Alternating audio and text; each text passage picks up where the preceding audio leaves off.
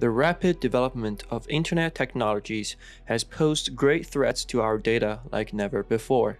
A lack of privacy, cybersecurity, and decentralization has become a clear and immediate danger to our society worldwide. This is why we're going to talk about VPN, decentralized VPNs, and Tor today. What are they? What purpose do they serve? And how are they different from each other? This video, I will focus on the high-level overview of these technologies.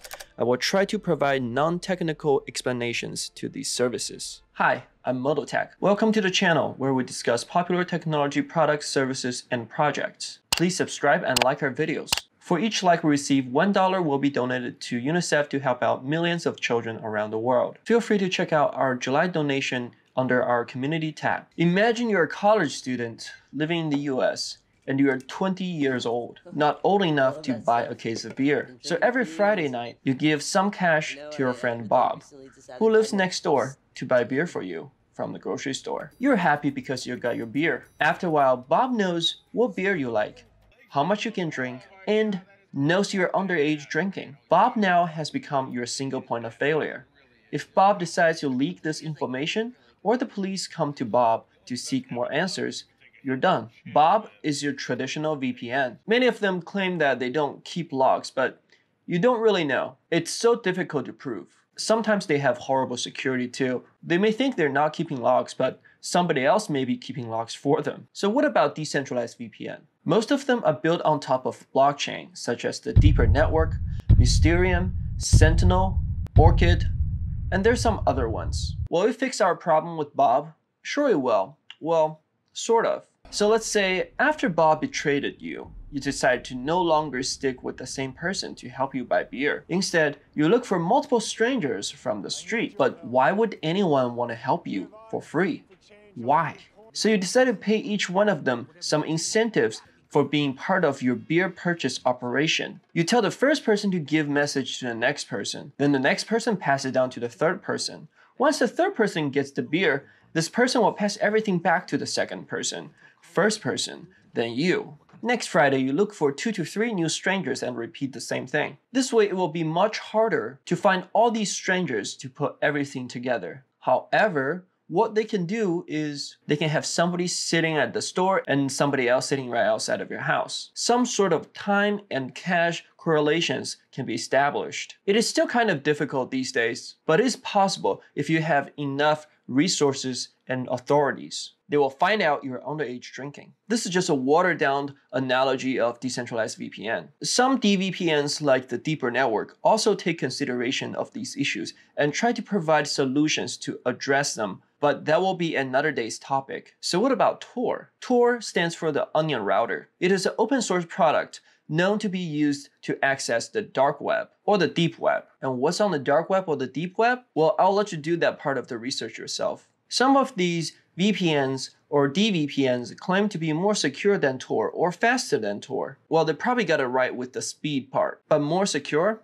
I'm not too sure about that. It really depends on who you're trying to protect your data from. Due to the complexity of Tor, I will explain it with the whiteboard session. So technically Tor is not a VPN, it's a proxy. It is somewhat similar to a decentralized VPN. Let's say you want to visit YouTube. You're using three decentralized nodes to pass on your information to visit a website. But it's really unnecessary for a public service like YouTube, unless you're in an area where YouTube is blocked. Otherwise, it's kind of like instead of buying beer, you're now just going through three people to buy a bottle of water. Why would you ever do that? In this case, there's really no need to sacrifice speed for security. So it's just like decentralized VPN, authorities can still sit at your internet provider and the destination, assuming they know both of these locations, then they can use AI machine learning to kind of figure out who you are, where you are, and what you're doing. But let's say, what if you do want to buy beer and you do know that there is a beer provider will potentially sell beer to underage college students? So of course they want to keep themselves out of trouble, so they decide to stay in the dark. And they will say something like this. They say, hey, in order to buy beer from me, you'll have to contact one of these people first. So now you're like, all right, you know, you, you talk to all your buddies and all the people on the street, you finally figured out who these people are. Now, instead of using three different strangers, you're using two different strangers just to send your message to this third person, which is the person knows how to get the message to the beer provider. But this person doesn't exactly know where the beer provider is. He's just a messenger. He will pass a message to the next person. And the next stranger, and the next stranger, and finally to the beer provider. And remember, all this message is saying that, hey, I'm trying to buy beer. Do you provide beer? And the beer provider can say, yeah, I provide beer, or they can say, nah, I'm out of beer today, or I don't want to sell beer to you. So let's say in this case, the beer provider does want to sell beer to you. Instead of going through the same network we just established to sell the beer, the beer provider says, well, the previous communication might be compromised um, and it's really only used to establish the initial communication, let's find somewhere else to trade our beer. So the beer provider will choose a rendezvous point, and this is where everything's happening. Okay, so the beer provider will create another Tor network, goes through the first person and the second person and the third person, and finally goes to the rendezvous point. And now he has passed his beer over here all right?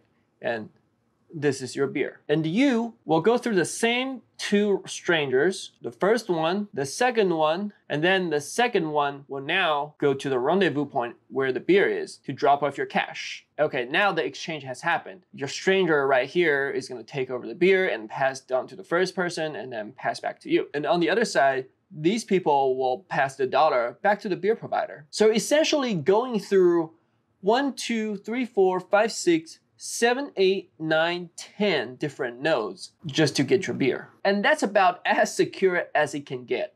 And this is why it's so difficult for authorities to crack down a hidden service on the deep web. Because essentially these 10 nodes can be anywhere in the world, right? Uh, you can have something in China, you can have something in Brazil, you can have something in Switzerland, you can have something in Canada, you can have something in Iceland.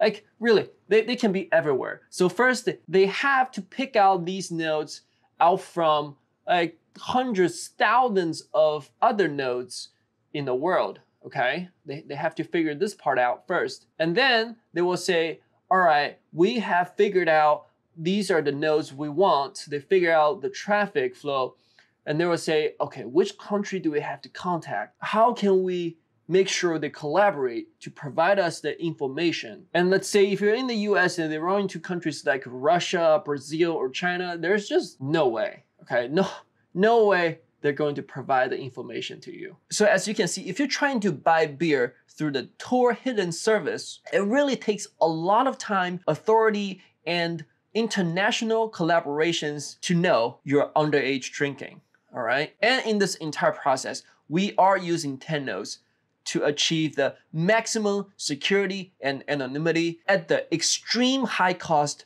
of latency and speed. And by the way, I'm not saying that everybody using VPN, DVPN, or Tor are doing illegal stuff, but it is very difficult to deny that a lot of illegal activities are actually taking advantage of these peer-to-peer networks. But there are a lot of legit and cool things you can do with them, such as playing video games on a foreign server, buy airplane tickets for cheaper price from a different country, watching a home nation's TV show while you're traveling overseas. Pretty cool, right? So I hope by now you have a basic understanding of VPN, DVPN, and Tor network. Which one's your favorite? Cast your vote under the community tab. This is Modotech. Thank you for watching. I will see you next time.